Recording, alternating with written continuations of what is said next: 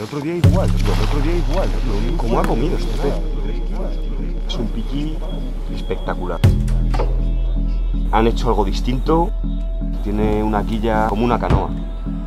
Una forma de plátano. Esto nos ayuda a conseguir rebotes infinitos. Para pescar suavito, para hacer presentaciones súper sutiles en coberturas muy densas.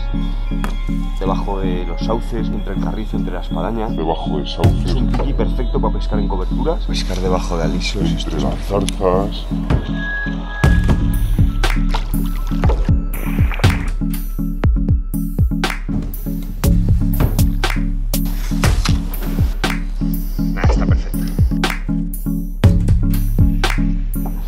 12 gramos nada más, es una caza súper ligera, es hueca y tiene sonido.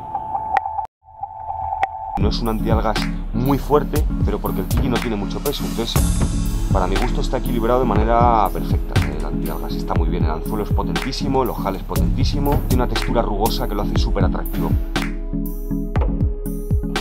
Conseguimos unas presentaciones, unos posados brutales una acción impresionante, impresionante de cola y luego tiene una oscilación bastante potente también.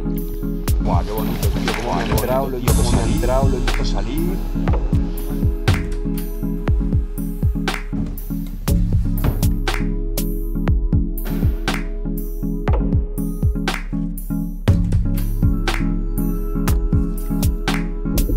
Me parece que voy a tener una historia de amor potente con historia de amor